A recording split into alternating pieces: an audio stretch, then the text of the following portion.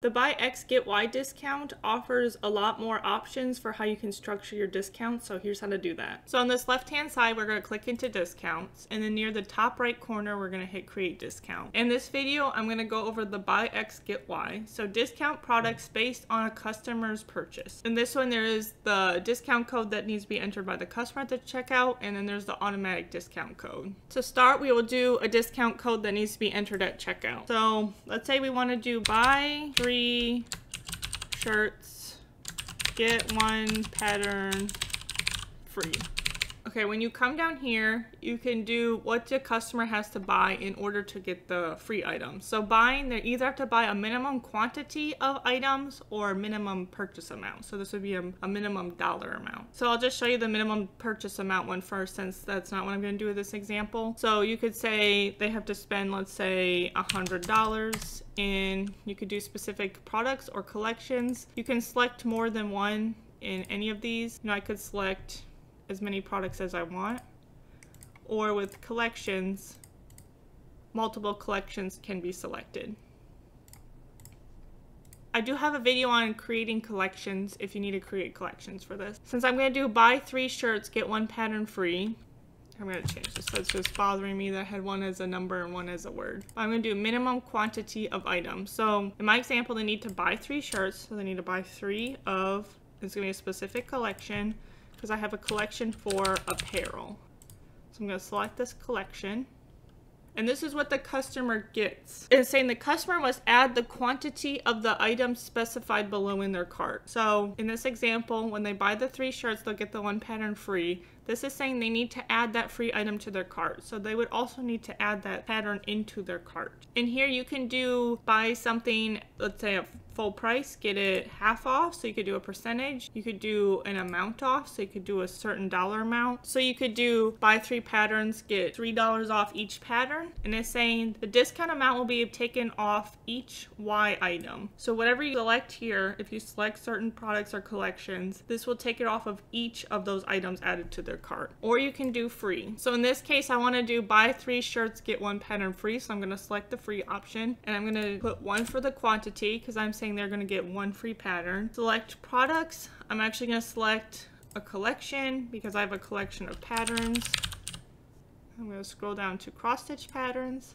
I'm going to add that. And then you can select to have a maximum number of uses per order. So right now with this not selected, for every three shirts they would buy, they would get one pattern free. Now I can put you can only do that once. So they would only get one pattern free from this coupon. They can't have multiple free patterns. For customers eligibility, you can choose to have this apply to all customers. You can choose specific customer segments, or you can even choose very specific customers. Let's say you only want this going to one customer. You could select that customer. For this example, I'm just going to put where it'll apply to all customers and then maximum discount uses. So you can limit the number of times this discount can be used in total. So let's say you put this as 100. It can only be used 100 times and then it will not work anymore. Those 100 times can be used by any of these people up here that you have selected. Or you could limit to one use per customer. In this case, if one customer used it with their specific email address, it would not be able to be used again. And you can actually select both of these. So if you select both of these, Limit one use per customer and it can only be used 100 times so 100 different customers could use this and then it could not be used anymore. I'm just going to deselect these in this example and then combinations I will go over this in a different video because it can get a little confusing and then down here you can have the start date and the end date. So let's say you want a coupon to only work one day. You may want to start this at the start of the day and end it at the end of the day. I'm not going to have an end date for this, so I'm just going to hit save discount.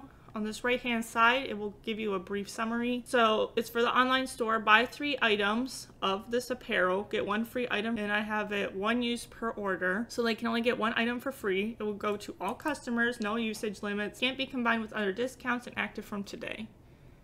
Up here it pops if you want a shareable link. If you share this link and a customer clicks this link, then it will automatically apply a checkout for them. They will not need to enter your discount code. If you don't see this up top, you can find that same link in promote and then get a shareable link. I'm going to select this discount code and in my cart I already have three shirts and a pattern. So I'm just going to go and view cart. I have my three shirts and my pattern. On my cart page, there was nowhere to enter the discount code. Your theme maybe would be a little different. I think most of them just show the discount code area on checkout though. So at checkout, I'm gonna enter this discount code.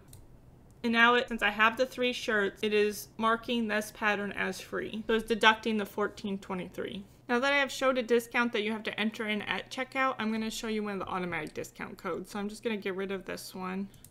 Okay, I'm going to go back and we're going to create an automatic discount code. So to create discount, I'm going to go into the buy X get Y discount and we're going to do an automatic discount this time. So this is a discount that a customer would not need to enter at checkout and it cannot be combined with anything unless you checkmark something down here that you will allow it to be combined with other discounts. And I do want to say with this discount, it is hard to do, let's say you want to do a discount where it was spend $100 on your total purchase, get all thread 50% off. I'm going to explain why a discount like this would be very difficult. So you could put the purchase amount of spend $100 on the collection. I have a collection of all. I'm going to select that. So this part's not the problem. The problem is get all thread 50% off since you need to select a very specific quantity of something. So you can't just put all the thread that they add would be discounted. Because let's say you made this 100 where you would discount 100. This is saying they need to add this quantity of items to their cart. So this would force someone to have to add 100 threads to their cart. Which if it's free, I'm sure people wouldn't mind getting 100 for free. But if it's discounted or amount off, they might not want to get 100 because they'll get too expensive depending on what the discount is. So it's really hard just to make it all threads. You will need something specific here. And I'll just show you as an example. So let's say this is five and I'm gonna do collections of all threads. And let's say we do 50% off and I'm not gonna have it combined with anything. I'm gonna hit save. I'm gonna go into my cart and here my subtotal is over 100 but nothing is discounted here because I did not add five threads, so it won't even discount the number less than the five that I entered right here. So the customer would have to enter five or they will not get any of them discounted.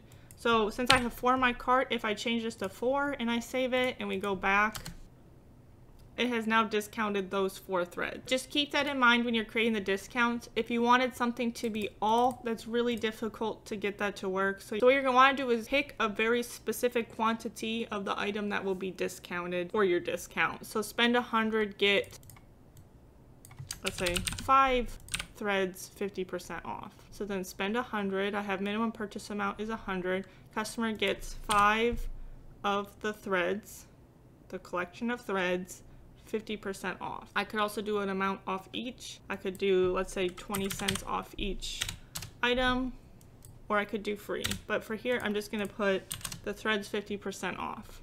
Again, I'm not gonna have it combined because I'm gonna go over that in a different video just so this one doesn't get too long.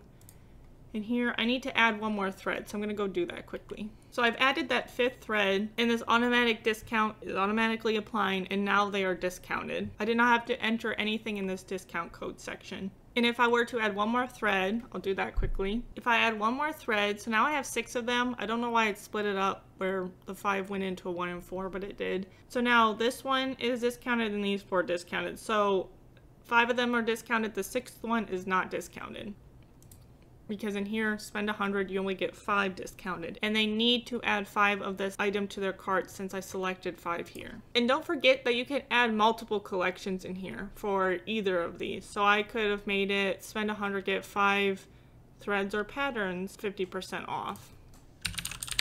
So I could add patterns.